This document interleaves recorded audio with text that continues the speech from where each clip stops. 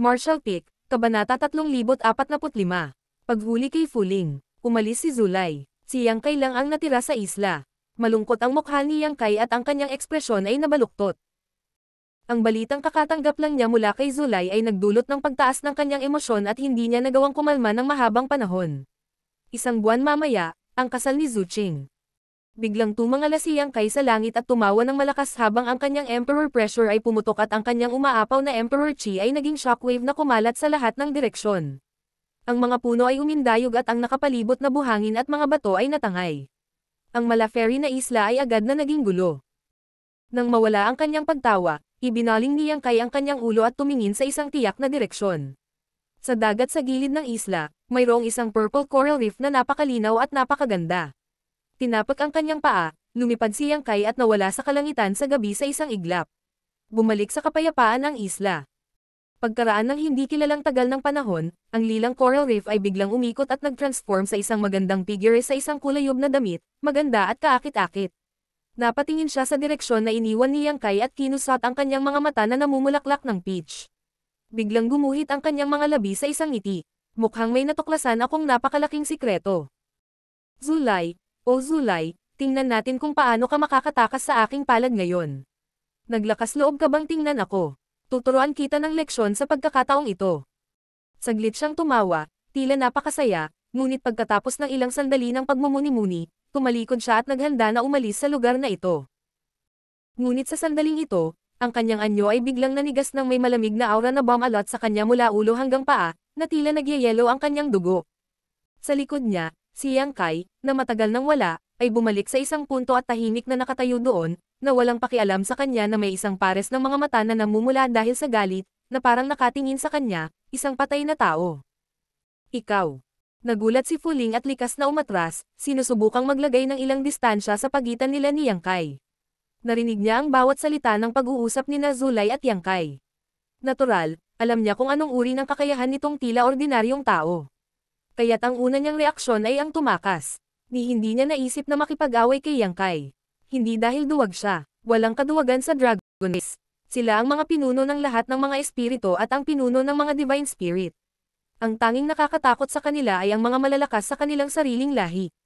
Ang dahilan kung bakit siya umatras ay dahil alam niyang hindi siya kalaban ni Yang Kai. Mayroon lamang siyang rank 6 na Dragon Vein maging sina Zulay at Zuching, na may ranggo na walong Dragon Veins, ay dumanas ng malaking pagtatalo sa mga kamay ni Yang Kai. Paano siya magiging katapat niya? Kailangang sabihin na ito ay isang napakatalino na pagpipilian. Hanggat kaya niyang idistansya ang sarili kay Yang Kai at tumakas sa dagat, maaari siyang makatakas sa kanyang pabago bagong kakayahan. Ang bilis ni Fuling ay umabot na sa limitasyon nito, ang kanyang buong katawan ay naging isang purple na dragon, na tumusok sa kawalan. Hindi gumagalaw ang katawan ni Yang Kai, malamig pa rin itong tumingin sa kanya, ngunit tulad ng uod sa tarsal bone, na natili siya sa loob ng tatlong hakbang mula sa kanya, hindi niya ito maalis. Namutla ang mukha ni Fuling. Pinaandar niya ang kanyang Dragon Yuan para tumawag ng tulong.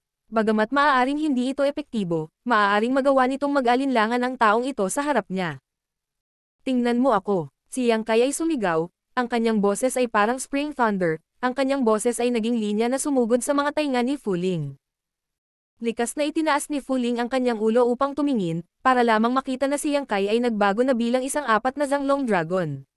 Ang kanyang napakalaking figure ay parang isang malaking bundok na dumidiin sa kanyang puso, na naging dahilan upang hindi siya makahinga.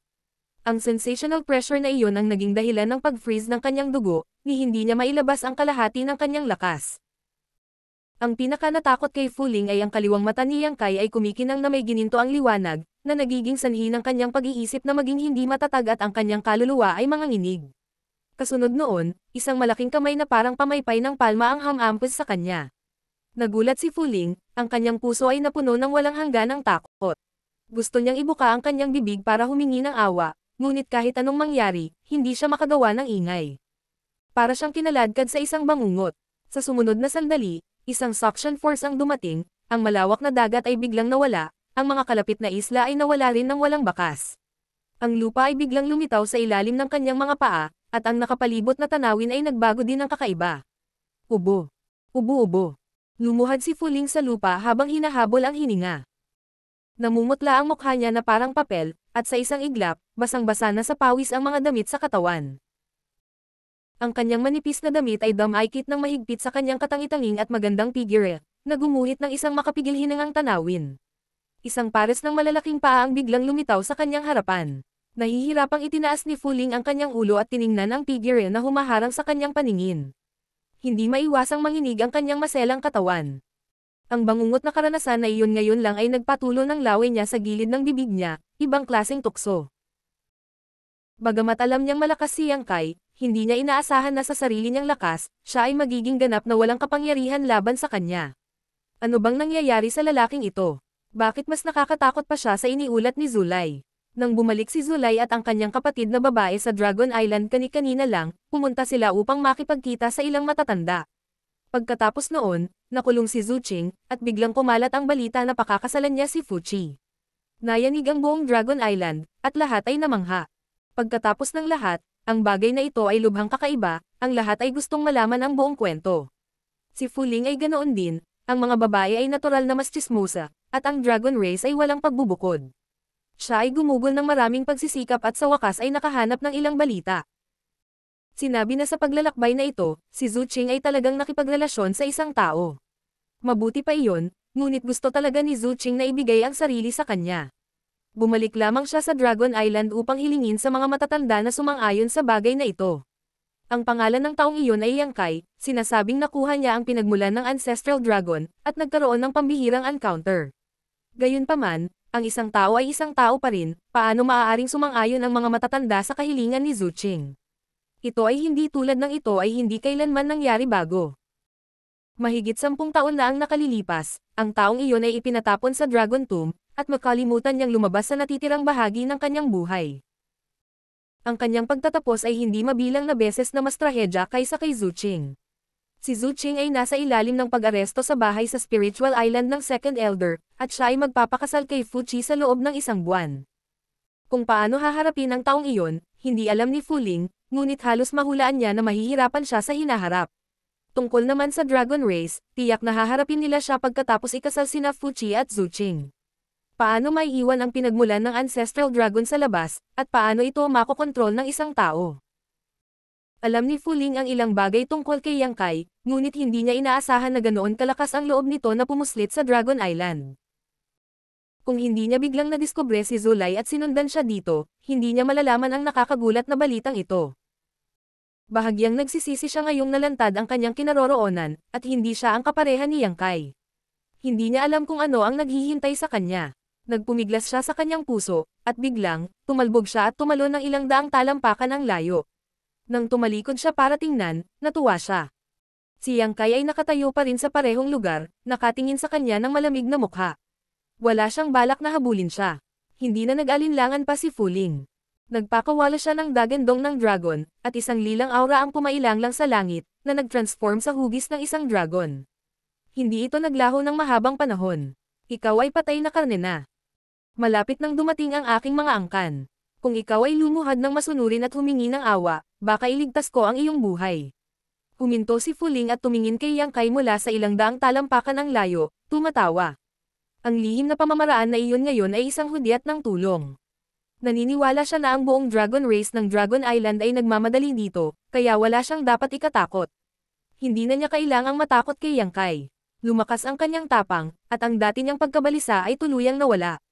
Walang sinabi si Yang Kai, at tumingin lang kay Fuling na may mapanoksong ekspresyon. Hindi siya nakaramdam ng kaba. Nagulat si Fuling sa kanyang dila at pinalaki siya. Nagtatakang tanong niya. Hindi ka ba natatakot? Bakit ako matatakot? Ngumisi si Yang Kai.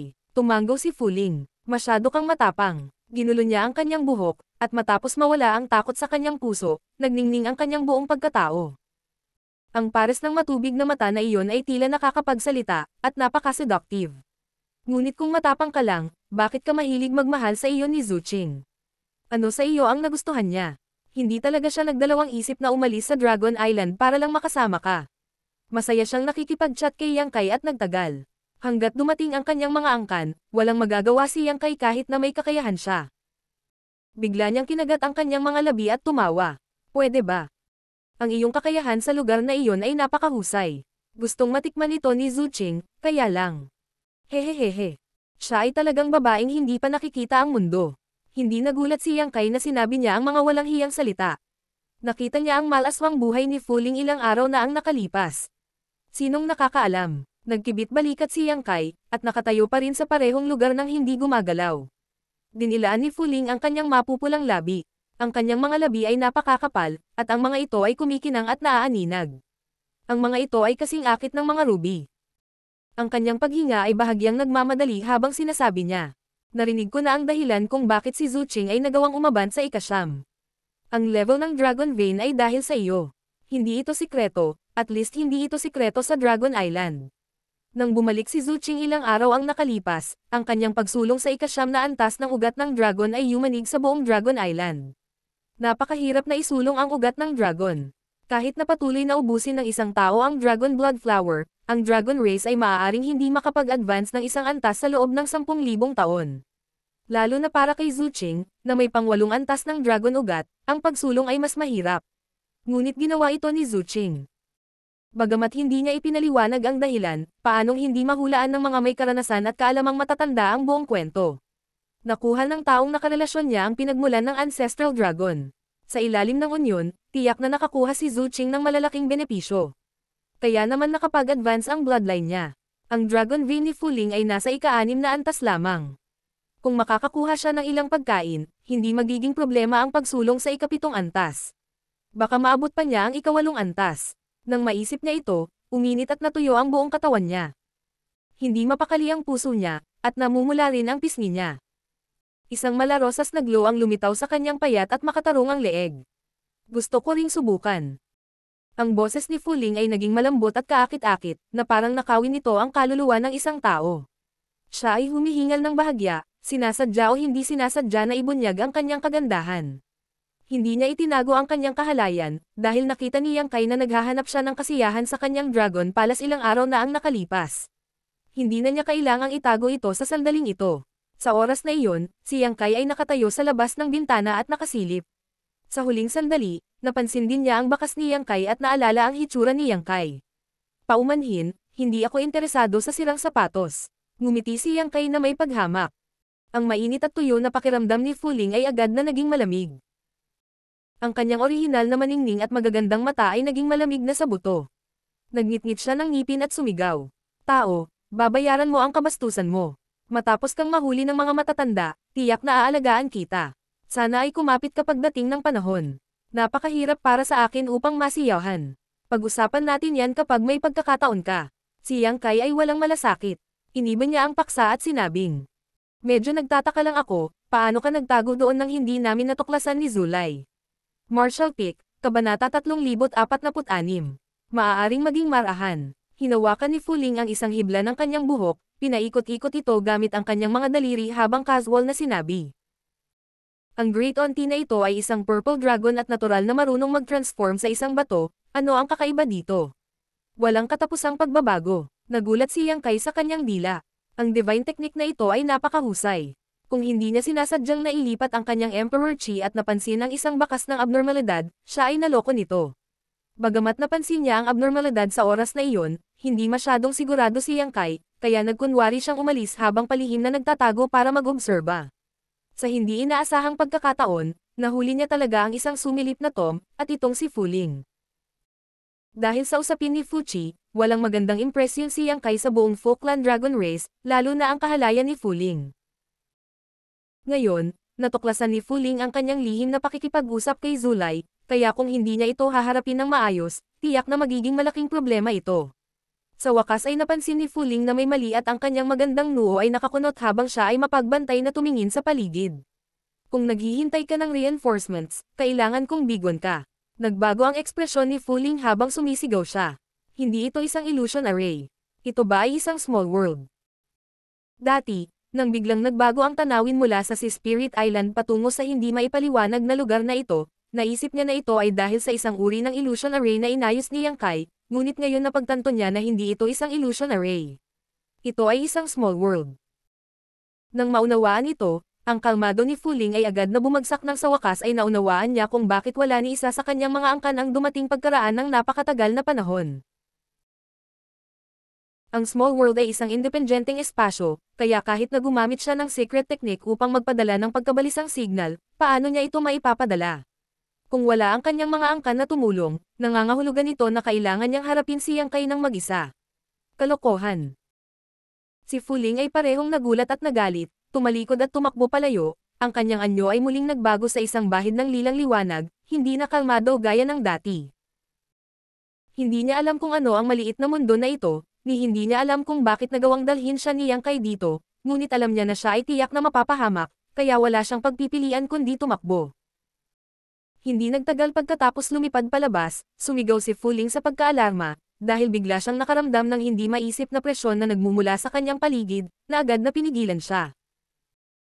Parang tumama ang buong katawan niya sa isang hindi nakikitang pader, at bigla na lang siyang napaayos doon, kahit anong pilit niya ay hindi niya iyon maalis. Isang puwersa ang dumating mula sa harapan, na hindi napigil ang itinulak ang kanyang katawan pabalik. Ang distansya sa pagitan nila ni Yang Kai ay palapit ng palapit. Napasigaw siya ng hindi sinasadya. Matapos mabuhay ng napakaraming taon, ito ang unang pagkakataon na nakatagpo siya ng ganitong kakaibang bagay. World Force. Ito ang kapangyarihan ng small world na ito. Ang magagandang mata ni Fuling ay napuno ng sindik at pagtataka. Ang katotohanang kayang kontrolin niyang kay ang maliit na mundong ito ay nagpalungkot sa kanya. Alam niyang walang paraan para makipaglaban sa kanya. Sa maikling panahon ng tatlong paghinga, ang lahat ng kanyang pagsisikap ay nawalan ng saysay, at muli siyang nasa harap ni Yang Kai. Pagtingin sa katawan ng dragon, si Fuling ay nanginginig sa takot at sumigaw. Hindi mo ako mapapatay. Si Yang Kai ay nanatiling hindi natinag. Ang kanyang malaking palad ay tumama sa malamig na ekspresyon. Ang galit na kanyang pinigilan sa buong gabi ay malapit ng ilabas kay Fuling. Muling sumigaw si Fuling. Ako ang babae ni Zulay. Ang palad ng dragon ay tatlong pulgada lamang ang layo sa ulo ni Fuling. Ang malakas na hangin ay naging sanhi ng pagkislot ng mga damit ni Fuling.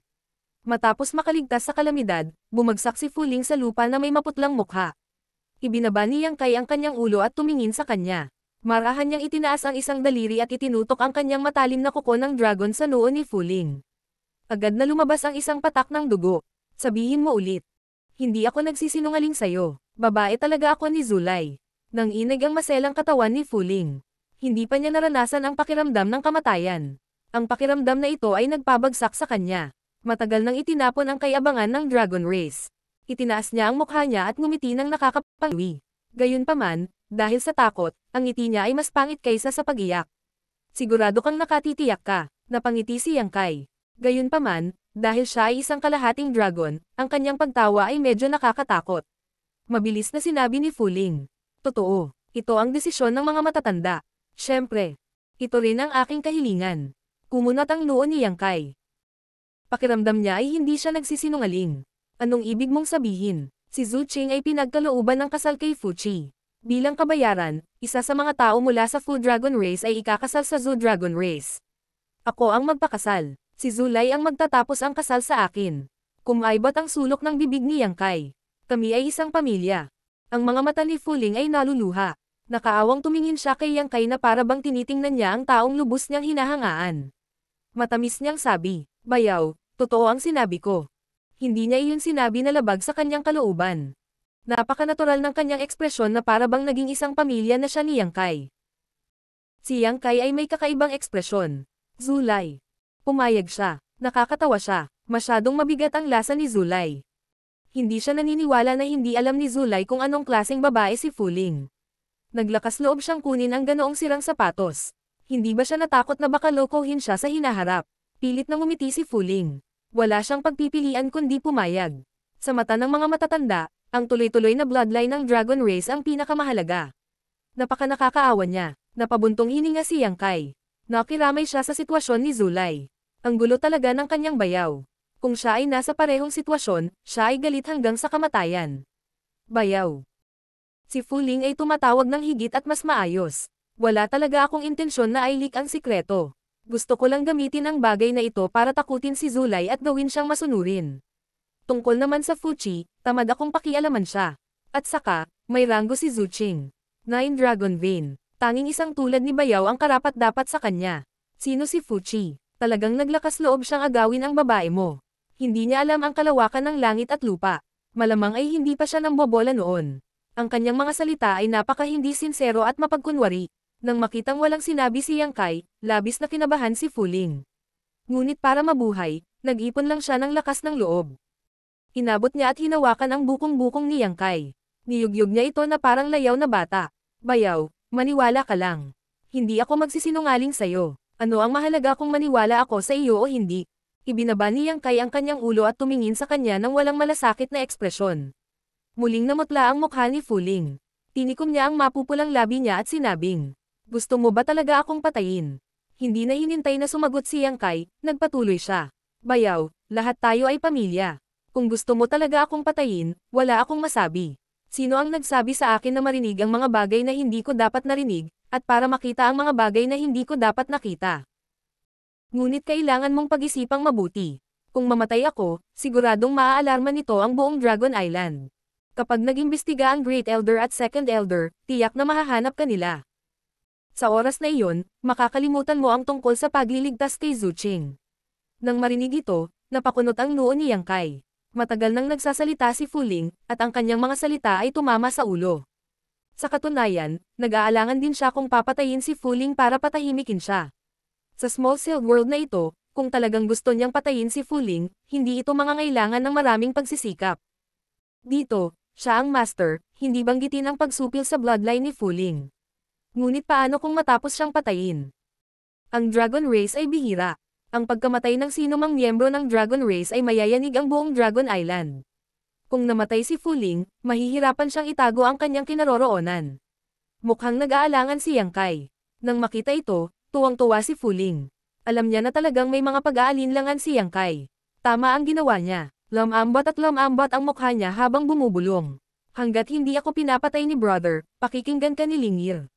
Lumuhad siya roon, bukas ang kanyang damit, at tumambad sa hangin ang puting niebe niyang cleavage.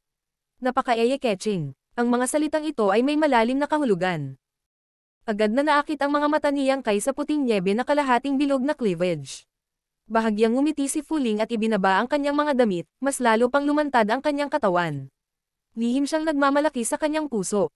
Siya ay isang maliit na tao, habang siya ay isang miyembro ng Dragon Race. Hanggat nagpapakita siya ng kaunti sa kanyang alindog, hindi ba siya mabibighani?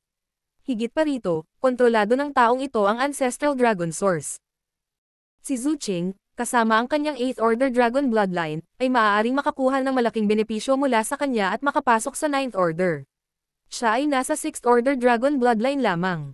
Kung siya ay kapareho ni Zhu Qing, hindi ba siya makakakuha ng mas malaking benepisyo? Sa kaibuturan ng kanyang puso, hindi niya tinanggihan ang invasive na tingin ni Yang Kai. Sa halip, labis siyang natuwa. Masasabi pang ang pinagnanasaan niya ito. Siya ay hindi mapakali, ang kanyang katawan ay naging mainit at tuyo, at saklap kanyang mga binti magkasama. Pagkatapos ng sunod-sunod na tunog ng kaluskos, biglang bumalik si Yang Kai sa kanyang anyo bilang tao. Iniunat niya ang kanyang kamay at hinawakan ang balingkinitang leeg nito. Bayaw. Namula ang pisngi ni Fuling, na nagmukhang maislan at nakakaakit. Nagkunwari siyang nahihiya, buksan mo ang iyong knowledge sea. Sigaw ni Yang Kai sa mahinang boses. Agad na nawala ang pagkahiya ni Fuling sa kanyang mukha. Gulat na tumingin siya kay Yang Kai. Bigla niyang naintindihan ang binabalak nitong gawin. Biglang namutla ang mukha niya. Hindi ko sasabihin ang parehong bagay ng dalawang beses. Malamig ang boses ni Yang Kai. Kung gusto mong mamatay, tutuperin ko ang hiling mo ngayon. Nagpumigla si Fuling at nag-alinlangan saglit bago tuluyang tinanggap ang kanyang kapalaran at ngumiti ng malungkot. Bayaw, dapat maging magiliw ka, ito ang unang pagkakataon ko. Sa sandaling binuksan ni Fuling ang kanyang knowledge sea, napansin niya ang isang napakadalisay na spiritual energy na bumubuhos. May isang alon ng kakulangan sa ginhawa sa kanyang isip. Ito ang unang pagkakataon na may lumusab sa kanyang dagat ng kamalayan. Isa pa, siya ang sumuko sa paglaban. Agad na naisip ni Fuling na mamatay. Kung alam niyang mangyayari ito, hindi sana siya nasangkot sa gulo ngayon. Sa puso niya, pinagalitan na niya si Zulay. Pagkatapos mag-transform sa kanyang soul avatar, agad na nakita ni Fuling si Yang Kai. Nag-transform din si Yang Kai sa kanyang soul avatar at nakatayo sa ibabaw ng knowledge sea ni Fuling, ang kanyang ekspresyon ay solemn na, ang kanyang mga kamay ay patuloy na bumubuo ng mga selyo.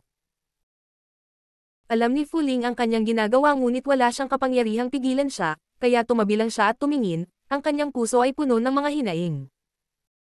Ilang sandali pa, isang selyo ang namukadkad mula sa kamay ni Yang Kai at sumabog sa knowledge sea ni Fuling. Sa isang iglap, ang kanyang knowledge sea ay bumagsak at si Fuling ay umungol, ang kanyang soul avatar ay marahas na pabago-bago, na tila babagsak ito anumang oras. Pagkaraan ng ilang sandali, unti-unti siyang gumaling at tumangala, ngunit nawala na si Yang Kai. Tila, siya ay umatras mula sa kanyang knowledge sea sa isang punto. Sinusuri ang tatak ng soul, mapait na ngumiti si Fuling. Iniisip niya kung makakakuha ba siya ng pagkakataon na matuno ang tatak na ito, ngunit nang makita niya ang pagiging komplikado at katatagan ng tatak na ito ng soul, hinalis ni Fuling ang ideyang ito. Ibinalik ang kanyang kaluluwa sa kanyang katawan, tumingin si Fuling kay Yang Kai nang hindi mapakali at mahinang tumawag. Bayaw, ano ang iyong mga order? Matapos maitanim sa tatak ng soul, ang kanyang buhay ay nasa mga kamay na ni Yang Kai, kaya wala siyang pagpipilian kundi magpasakop. Hindi na siya kumilos ng may pagmamataas at sa halip ay naging maingat. Magpakabait ka lang, aalis ako sa isang buwan at libre ka na. Naiintindihan. Ibinaba ni Fuling ang kanyang ulo. Marshall Pick, Kabanata 3047. Mga plano. Ang langit ay nagiging maliwanag sa silangan. Nang lumiwanag ang kalangitan, bumalik si Yang Kai sa spiritual island ng Fuchi. Ang gabi ay puno ng ups and downs. Nalaman niya ang tungkol sa nangyari kay Zhu Qing makalipas ang isang buwan, nakuha si Fuling, itinanam ang tatak ng Divine Soul sa kanyang isipan, at kinokontrol ang kanyang buhay at kamatayan. Pinigilan ni Yang Kai ang galit sa kanyang puso. Alam niyang walang kwenta ang galit ngayon. Ang tamang gawin ngayon ay mag-isip ng paraan para mailigtas si Zhu Qing makalipas ang isang buwan. Iyon ay isang kasal ng Dragon Race. Sa panahong iyon, lahat ng miyembro ng Dragon Race ay naruroon. Siguradong hindi mawawala ang mga Elder. Ang Great Elder at Second Elder ay mga buhay na maihahambing sa mga Great Emperor. Sa kanyang kasalukuyang kakayahan, magagawa ba niyang iligtas si Zhu Qing sa ilalim mismo ng kanilang mga ilong? Ang posibilidad ng tagumpay ay malapit sa zero. Maliban na lang kung makakahanap siya ng paraan para mapanindigan ang Great Elder at hayaan siyang harapin ang Second Elder. Saka lamang siya magkakaroon ng pagkakataong magtagumpay. Hindi ito kalokohan ngunit napaka-praktikal nito. Mula sa sinabi ni Zulay, ang Great Elder ay mas banayad habang ang Second Elder ay mas hindi nasis Ira. Malamang na hindi sinang-ayunan ng Great Elder ang kasal na ito. Gayunpaman, hindi siya maaaring tumutol dito dahil sa mga alituntunin ng clan. Kaya naman, pinananatili niya ang isang tacit attitude. Ano ang dapat niyang isipin para matulungan siya ng Great Elder? Maaaring isang magandang pagpipilian ang Dragon Island Order ngunit hindi ito isang ligtas na pagpipilian. Umaasa lang si Yang Kai na matutulungan siya ni Fuling na malaman ang ilang kapakipakinabang na impormasyon. Kung hindi, maaaring mamatay siya pagkatapos ng isang buwan. Ang pagsupil kay Fuling ay isang magandang pagpipilian. Hindi bababasa, siya ay naglagay ng isang pon sa Food Dragon Race kung ang pon na ito ay walang silbi, kung gayon. Gayunpaman, kung ito ay kapakipakinabang, maaari itong magdulot ng mga hindi inaasahang resulta. Pinag-isipan niya ang buong daan pabalik. Pagbalik niya sa Spiritual Island, naghihintay pa rin si Lusan Niyang at ang kanyang anak na babae sa dalampasigan. Nang makitang nakarating na si Yang Kai, mabilis siyang tinanggap ni Lusan Niyang. Brother Yang, bumalik ka na. Puno ng pag-aalala ang magagandang mata niya. Hindi niya alam kung ano ang ginagawa niyang kay ngunit nahulaan niya na may malaking nangyari. Nang makita ang malungkot na ekspresyon ni Yang Kai, hindi na siya naglakas loob na magsalita pa. Bata pa si Lu Yuchin. Nasaksihan niya ng sarili niyang mga mata ang mga pangyayari noong nakaraang araw, lalo na ang kalunos-lunos na pagkamatay ng ilang tao sa kanyang harapan. Mukhang hindi pa siya nakaka-recover sa pagkabigla. Mapatla ang maliit niyang mukha habang mahigpit na nakayakap sa ina. Tumayo si Yang Kai sa pwesto at nag-isip sandali. Noon lang niya naayos ang kanyang magulong emosyon. Ang kailangan niyang gawin ngayon ay tiyaking makikita niya si Zhu Qing sa loob ng isang buwan. Kung hindi man lang niya makita ang mukha ni Zhu Qing, paano niya ito aalisin? Huminga siya ng malalim at may plano. Tumingin siya sa gilid ni Lusan Niyang at sinubukang sabihin sa mahinahong tono. Nasaan ang space ring ni Yuanwu? Nandito na. Nagmamadaling iniabot ni Lusan Niyang ang ilang singsing. Nandito na rin ang Madam Hua at ang mga singsing ng iba. Kahapon, nang dalhin niya si Lu Yuchin para ilibing si Yuanwo at ang iba pa, nakolekta niya ang mga space ring. Ayaw niyang lihim na itago ang mga ito. Ngayong nagtanong si Yang Kai, natural niyang inilabas ang mga ito. Mayroong kabuoang limang singsing sa espasyo. Apat sa kanila ay pag-aari ni Yuanwo at ang iba pa. Ang isa ay ibinigay sa kanya ni Fuchi ilang araw na ang nakakaraan. Nagimbak ito ng mga bihirang materyales na ginamit sa pagtatayo ng palasyo. Iniskan ito ni Yang Kai gamit ang kanyang Divine Sense at kinuha ang Space Ring na pagmamayari ng Dragon Island. Ibinalik niya ang natitirang apat kay Lusan Niyang. Ito. Nag-aalangan na kinuha sila ni Lusan Niyang. Itago mo sila, sabi ni Yang Kai at lumipad patungo sa isla. Ang lugar kung saan matatagpuan ang temporary imperial residence ay puno ng ingay at kaguluhan. Sa loob lamang ng ilang araw, nagkaroon na ng hugis ng isang palasyo. Bagamat ang pundasyon lamang ang naitayo, para sa napakalaking paglikha, ang ganitong uri ng pag-unlad ay napakahusay. Mga dalawang daang tao ang abala dito. Walang nang ahas na magpakalma. Pagkatapos ng lahat, ito ay isang gawain na ibinigay sa kanila ng Dragon Race. Mayroon ding ranggo na walong kidlat na dragon na naninirahan sa isla. Sino ang makatitiyak na hindi sila mapapansin kung sila ay magpapabaya? Kaya't ang lahat ay masyadong matulungin at nagtrabaho araw at gabi. Kapag napagod na sila ay kukuha sila ng lingdan para makabawi. Pambihirang bisita. Bakit dumating si Brother Yang? Masigasig na boses ang tumawag habang ang malaunggoy na si Wu Chen ay bumati kay Yang Kai nang nakangiti. Nang marinig ito ng mga nakapaligid na cultivator, lahat sila ay nagtaas ng kanilang mga ulo at sinulyapan si Yang Kai na may hindi nasisiyahang mga tingin sa kanilang mga mukha. Ang cultivator na dumating dito ay lahat ay binigyan ng iba't ibang misyon ni Yuan Wu. Walang-walang ginagawa, maging si Lusan Niyang at ang kanyang anak na babae ay pumunta sa dagat upang maghanap ng mga makinang na perlas. Siyang kailang ang tila walang magawa at napakalisure. Ang ganitong uri ng paggamot ay likas na nagdulot ng kawalang kasiyahan sa puso ng mga tao. Ngunit ang mga pamamaraan ni Yang Kai ay lubhang kakaiba. Madali niyang crush si Yuan Wu noon. Kahit na ang mga tao ay hindi nasisiyahan, hindi sila handa na madaling magsimula ng isang salungatan sa kanya. Kaya pagkatapos ng pagsulyap sa kanya, nagpatuloy ang mga taong iyon sa trabaho. Brother Wu, tumango si Yang Kai. Sumimangot si Wu Chen at naglakad kasunod ni Yang Kai. Sinabi niya, Tama, Brother Yang, nakita mo na ba si Master Yuan? Narinig ko na pumunta si Master Yuan sa lugar mo. Bakit hindi siya bumalik? Patay na si Yuan Wu. Tumahimik si Wu Chen at tumingin ng blanco kay Yang Kai. Ang mga nakapaligid na cultivator ay muling tumingin kay Yang Kai, bawat isa sa kanilang mga mukha ay puno ng kawalan ng paniniwala. Napaawang ang bibig ni Wu Chen. Paus niyang sinabi, patay. Paano siya namatay? Na-offend niya ang Dragon Race at napatay siya ng Dragon Race. His.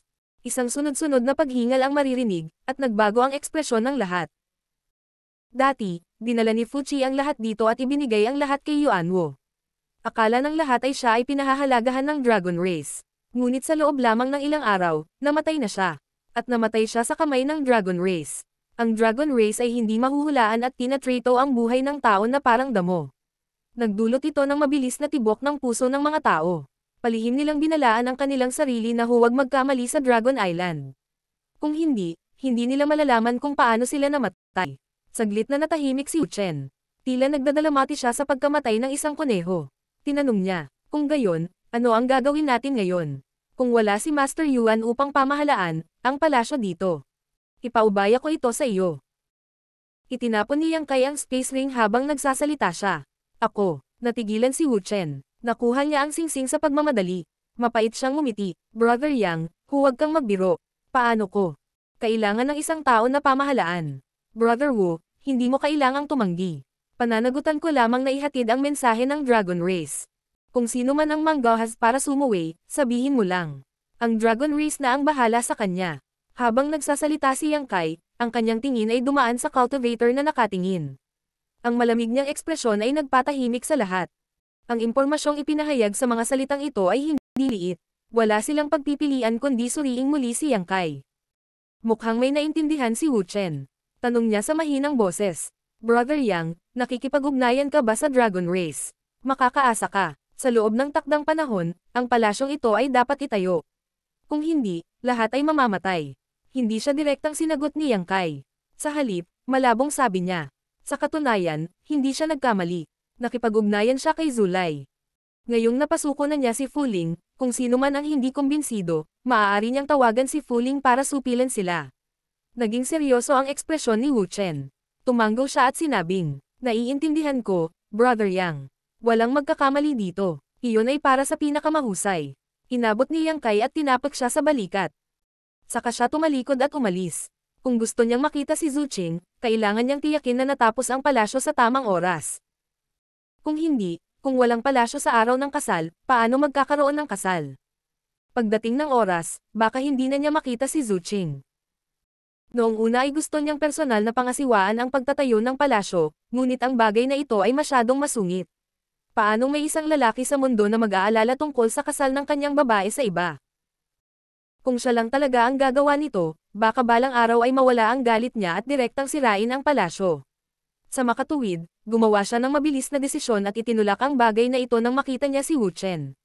Wala sa paningin, wala sa isip. Maaari niyang samantalahin ang panahong ito upang linangin at magsikap na gumawa ng isang pambihirang tagumpay sa kanyang lakas at kaharian. Kapag dumating ang oras, magkakaroon siya ng mas magandang pagkakataon na kunin si Zuching. Habang nasa isip ang plano, bumalik si Yang Kai sa dalampasigan. Matapos ipaalam kay Lusan Niyang, dumiretso siya sa dagat. Makalipas ang isang oras, narating niya ang kailaliman ng dagat. Ang ibabaw ng dagat ay umaabot hanggang sa nakikita ng mata. Walang ibang tanawin na nakikita. Inilabas ni Yang Kai ang kanyang divine sense para mag-imbestiga. Matapos makumpirma na walang tao sa paligid, lumubog siya sa dagat. Matapos maabot ang lalim na ilang libong metro, biglang ipinatawag ni Yang Kai ang Sealed World Bead. Kumislap ang kanyang figure at nagtago siya sa loob ng Sealed World Bead habang ang Sealed World Bead ay diretsyong nahulog sa ilalim ng dagat. Sa tabi ng garden ng gamot sa Sealed World Bead, si Yang Kai ay nakaupo na naka-cross-leg, pinapakalma ang kanyang isip at humihinga sa World Energy. Pagkatapos ng buong apat na oras, sa wakas ay kumalma siya at itinapon ang lahat ng nakakagambalang kaisipan sa kanyang puso. Tinatawag ang Purple Origin Furnace, kumuha siya ng iba't ibang spirit flower at mga pambihirang damo at inayos ang mga ito. Sa wakas, maingat niyang inilabas ang tatlong spirit flower na kasing pula ng dugo. Ang Dragon Blood Flower, sa mundong ito, ang Dragon Island lang ang makakapagbunga ng ganoong kakaibang bulaklak. Ito ay mukhang katulad ng Dragon Blood Flower ni Li Jiao, ngunit sa mga tuntunin ng kalidad at laki, ito ay hindi maihahambing. Ito ay isang Dragon Blood Flower na nilinang sa Dragon Island, kaya natural na hindi ito maihahambing sa kalahating lutong Dragon Blood Flower ni Li Jiao. Kung ikukumpara, ang Dragon Blood Flower ni Li Jiao ay parang damo sa gilid ng bukid. Walang masyadong Dragon Blood Flowers, tatlo lang. Ang mga ito ay nakuha mula kay Fuling. Hindi naman kalabisan na sabihing ninakaw niya ang mga ito. Nang ibigay ni Fuling ang tatlong dragon blood flower na ito, ang kanyang mukha ay puno ng pait at dalamhati, ngunit sa ilalim ng epekto ng kanyang tatak ng soul, wala siyang paraan upang labanan ang kahilingan ni Yang Kai. Kahit na ang isang miyembro ng Dragon Race ay maaaring maglaan ng isang nakapirming bahagi ng Dragon Blood Flower bawat taon, ang bilang ay hindi masyadong marami. Para sa 6th Order Dragon Vein tulad ni Fuling, ang pagkakaroon ng 20 Dragon Blood Flowers kada taon ay limitasyon na, at ito ay nakadepende rin sa maturity ng Dragon Blood Flowers. Kung ang isa ay malas, posible na makakuha lamang ng 10. Ang mga miyembro ng Dragon Race ay hindi nagustuhang magtanim dahil sila ay may mahabang buhay. Habang sila ay tumatanda, ang kanilang bloodline ay unti-unting nagiging dalisay at bubuti, at sa wakas ay titigil pagkatapos maabot ang isang tiyak na rurok. Bilang karagdagan, ubusin nila ang Dragon Blood Flowers, na isang shortcut sa kanilang paglaki. Ang taong ito ay hindi ang oras para ipamahagi ang Dragon Blood Flowers. Noong nakaraang taon, nakatanggap si Fuling ng higit sa isang dosina, ngunit halos lahat sila ay naubos, naiwan lamang ang tatlong ito, at ngayon ay nasa kamay na ni Yang Kai. Nagsisi siya, kung alam niyang mangyayari ito, hindi niya naligtas ang mga ito. Ang paglunok sa kanila ng buo ay mas matipid kaysa sa pagbibigay nito kay Yang Kai. Marshall Peak, Kabanata 3048, 50 metrong dragon form. Ang dragon blood flower ay hinati din sa iba't ibang grade, lower grade, middle grade, at upper grade. Ang pinakamataas na grado ay ang pinakamahusay na grado ng dragon blood flower. Kahit na sa Dragon Island, ang pinakamahusay na grado ng dragon blood flower ay isang bagay na maaari lamang makita ngunit hindi hinahanap. Ito ay hindi isang bagay na maaaring ipanganak sa pamamagitan lamang ng akumulasyon ng edad na nakapagpapagaling, mayroon pa ring bakas ng mga likas na salik na kasangkot. Sa tatlong dragon blood flowers sa mga kamay ni Fuling, dalawa ang low grade at isa ang middle grade. Ayon sa klasipikasyong ito, ang dragon blood flower ni Li Jiao ay maaari lamang ituring bilang isang mababang grado, hindi man lang maihahambing sa mga mababang marka. Noong panahong iyon, ang dragon blood flower na iyon ay ginawang dragon blood pill ni Jiying. Kinuha ito ni Yang Kai at pinagsama sa Dragon Transformation Secret Art para linangin ang kalahating dragon na katawan, na nakinabang ng husto sa kanya. Ngayong mayroon na siyang tatlong Dragon Blood Flowers na may matataas na grado, natural na hindi ito masasayang ni Yang Kai. Gusto niyang gawing Dragon Blood Pill at pasiglahin ang kanyang sariling Golden Holy Dragon's Origin Power para mas makasama ito sa kanya. Upang harapin ang Dragon Race, ang pinakamahusay na paraan ay magsimula sa pagsugpo sa linya ng dugo. Kung hindi, si Yang Kai ay walang pagkakataong manalo. Hindi pa napino ni Yang Kai ang isang Dragon Blood Pill dati, ngunit pagkatapos ng maraming pakikipagpalitan kay Jiying, pamilyar na pamilyar siya sa proseso ng pagpino ng Dragon Blood Pill. Alam pa niya ang recipe ng tableta tulad ng likod ng kanyang kamay. Ang kanyang mga natamo sa alchemy daw ay napakalalim, kaya hindi dapat magkaroon ng anumang malalaking problema. Nang handa na ang lahat, pinalitan niyang kay ang kanyang mga handsil at nagaapoy ang apoy sa loob ng Purple Origin Furnace. Herbs. Spirit Array Engraving. Fire Control. Habang ang mga panggamot na likido ng mga halamang gamot ay pinalapot, isang mahinang halimuyak ang unti-unting naalis mula sa Purple Origin Furnace, na nagpapaginhawa sa mga tao. Sa pagbuti ng kanyang lakas, si Yang Kai ay naging mas mahusay sa alchemy daw. Bagamat matagal na niyang hindi nagagawa, maayos naman ang mga galaw niya at walang kaunting awkwardness. Bumalik sa Water Moon Star, ang Grand Alchemy Dalton ay nagturo sa kanya ng sining ng alchemy, kaya hanggat siya ay nasa tamang estado, ang alchemy ay halos isang likas na reaksyon.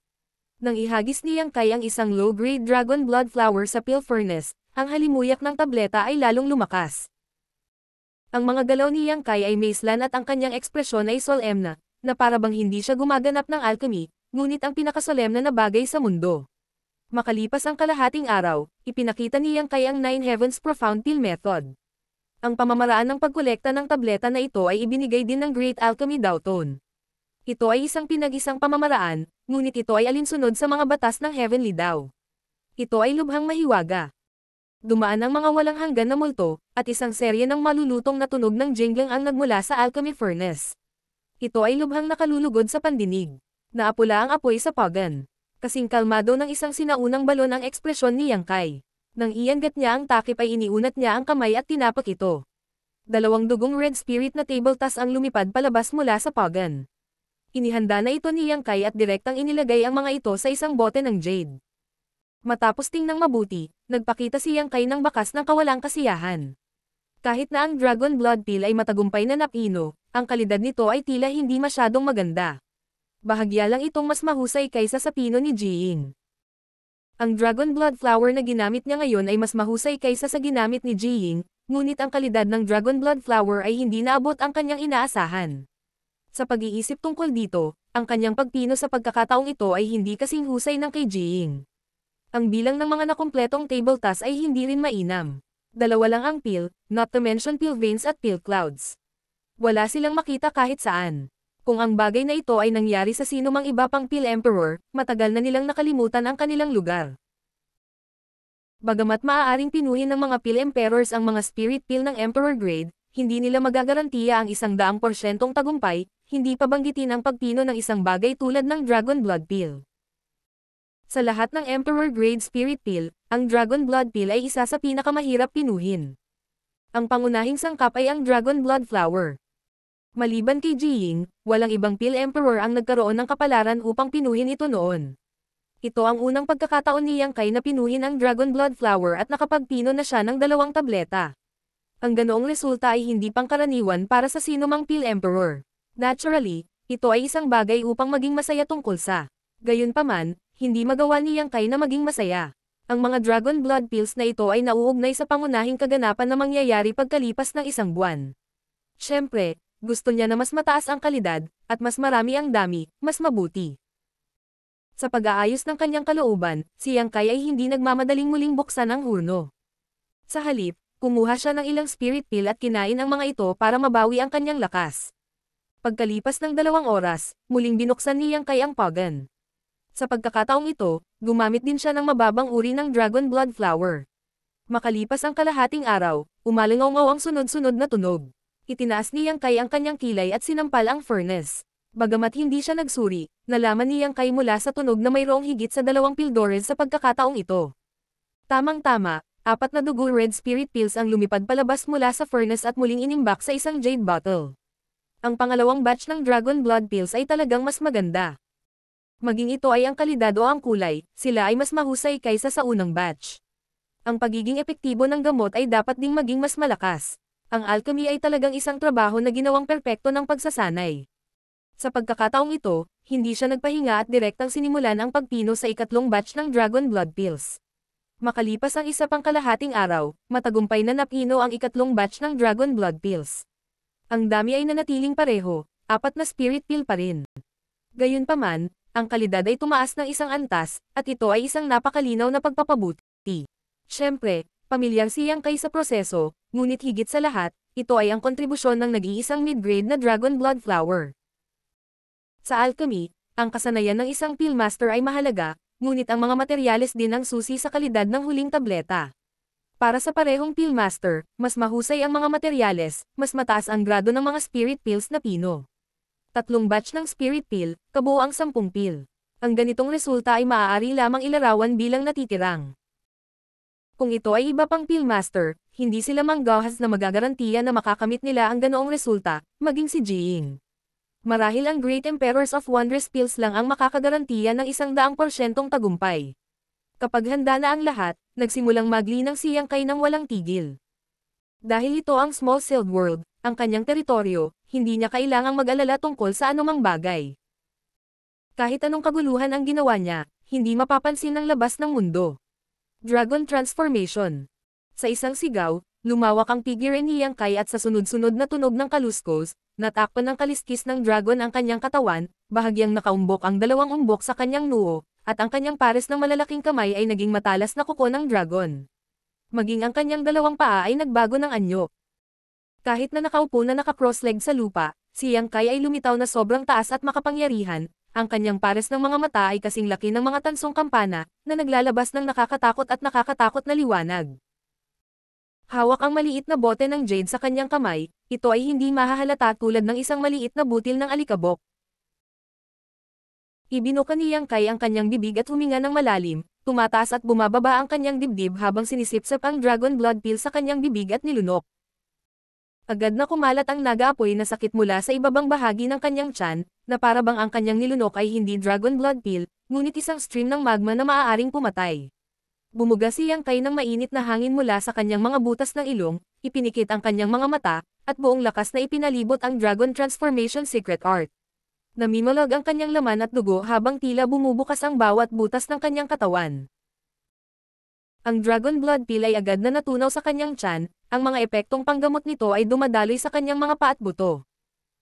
Ang Golden Divine Dragon Source na nakatago sa kanyang katawan sa loob ng maraming taon ay tila pinasigla ng ilang uri ng puwersa at mabilis na naging isang gintong liwanag, na dumadaloy sa kanyang katawan kasama ang kanyang Emperor Chi.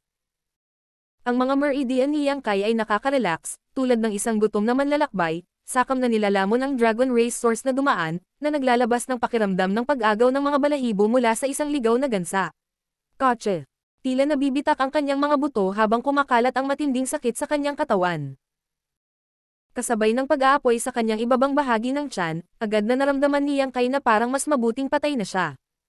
Nagpakawala ng mahinang pagungol, binantayan niyang kay ang kanyang isip, na hindi naapektuhan ng mga panlabas na puwersa, at nagpatuloy sa pag-ikot ng Dragon Transformation Secret Art. Kotse. Umalangaw ang sunod-sunod na tunog ng pag-crack habang ang lahat ng buto sa kanyang katawan ay tila nabali at pagkatapos ay muling buuin. Sa tuwing bumubuti ang Dragon Transformation Secret Art, ito ay isang proseso ng muling pagsilang. Sa pamamagitan lamang ng pagtitiis sa hindi maisip na sakit na ito ay maipanganak muli ang isang tao. Bagamat mahirap magpatuloy, si Yang Kai ay labis na masaya sa kanyang puso. Dahil mula noong huling pagkakataon na nakuha niya ang kapangyarihan ng Primordial Yin ni Zhu Qing, medyo bumuti ang kanyang lakas, ngunit hindi siya nakagawa ng anumang pagunlad sa kanyang Dragon Transformation sa mahabang panahon. Sa madaling salita, ang pagunlad ay napakaliit na halos hindi ito mahahalata, at ang kanyang apat na metrong haba na katawan ng dragon ay hindi gaanong nagbago. Pagkatapos ng lahat, siya ay isang tao lamang na nagkataon na nakakuha ng Golden Divine Dragon Source at nakasama nito sa loob ng maraming taon. Ngayon na gusto niyang isama ang Dragon Race Source na ito sa sarili niyang bloodline, kailangan niyang magbayad ng katumbas na presyo, at tiyak na magiging sobrang haba ang prosesong ito kung walang tulong sa labas, malamang naaabutin ng daan-daan o kahit libu-libong taon upang makumplito ang gawain. Gayunpaman, Ang medicinal efficacies ng Dragon Blood Pill ay nagbigay daan kay Yang Kai na ay offset ang gastos sa oras na ito, na nagpapahintulot sa kanya na mas mahusay na may sama ang Dragon Race Source sa maikling panahon. Patuloy na umalangaw ang mga kaluskos habang ang kaliskis ng dragon na tumatakip sa balat ni Yang Kai ay unti-unting nagbago ng kulay. Naramdaman pa ni Yang Kai ang pangangati sa magkabilang gilid ng kanyang ulo, na parang may lalabas na bagay. At ang Katie na ito ay eksakto kung saan matatagpuan ang kanyang mga sungay ng dragon. Ang medicinal efficacies ng Dragon Blood Pill ay tumagal ng isang oras. Pagkalipas ng isang oras, unti-unting hamupa ang tuloy-tuloy na pag-crack at muling lumambat ang mabangis na ekspresyon ni Yang Kai. Hanggang sa tuluyang naglaho ang mga epektong panggamot ay binuksan niya ang kanyang mga mata. Basang-basa ang kanyang katawan sa pawis, na para siyang na-fishing out sa tubig, ngunit ang kanyang ekspresyon ay isang labis na saya. Bagamat hindi niya napagmasdan ng mabuti ang sarili, alam niyang tiyak na may mga pagbabago na siyang pinagdaanan ngayon. Medyo nakabawi, huminga siyang kay ng pangalawang dragon blood pill mula sa bote ng jade papunta sa kanyang bibig. Sa loob ng small sealed world, hindi tumigil sandali si Yang Kai, patuloy na umiinom ng dragon blood pills na kanyang pinino at nilinang ang dragon transformation secret art sa tulong ng emperor pills na ito. Bagamat ang dragon blood pill ay nagkaroon ng epekto ng pagpapabuti ng isang dragon race bloodline, ang pinakamalaking gamit nito ay upang pasiglahin ang dragon race source, na ginagawa itong mas dalisay at mas malakas. Ang sitwasyon ni Yang Kai ay iba sa pangkalahatang dragon race. Lahat ng dragon race bloodlines at source ay unti-unting nagmature. Ngunit iba si Yang Kai. Ang kanyang Golden Divine Dragon Source ay naayos at walang puwang para sa paglaki, na ginagawang mas madaling pasiglahin at pagsamahin. Ang Yang Kai ngayon ay parang nakaupo sa isang bundok ng mga kayamanan, ngunit hindi niya magagamit ang lahat ng kapangyarihan nito. Ang kayamanan lang ng bundok na ito ay kaya niyang dambungin para unti-unting mapuno ang kanyang mga bulsa. Pagkalipas ng dalawang araw, ang huling Dragon Blood Pill ay ganap na napino. Biglang iminulat ni Yang Kai ang kanyang mga mata, ang kanyang mga pupil ay kumikislap ng husto habang ang isang walang katulad na dragon pressure ay kumalat mula sa kanya. Nagpakawala si Yang Kai ng mahabang dagandong na katulad ng dagandong ng dragon, na yumanig sa mundo. Ang parang bundok na katawan ni Yang Kai ay dahan-daang tumayo at bumuga ng isang subo ng mainit na hangin. Parang nayanig ang buong mundo. Nagwawali sa kanyang katawan gamit ang kanyang divine sense, ngumiti si Yang Kai. May epekto talaga ang sampung dragon blood pills. 15 metro na ang haba ng katawan ng dragon ni Yang Kai. Ang ganitong uri ng pagpapabuti ay maaaring inilarawan bilang lubhang makabuluhan. Kailangang malaman ng isa na nang makuha niya ang tulong ng primordial yin ni Zuching, lumaki lamang siya mula 15 metro hanggang 40 metro. Ang sampung dragon blood pills na ito ay nagbigay daan sa kanya na lumaki ng isa pang 10 metro. Ang resultang ito ay lubos na nasiyahan kay Yang Kai.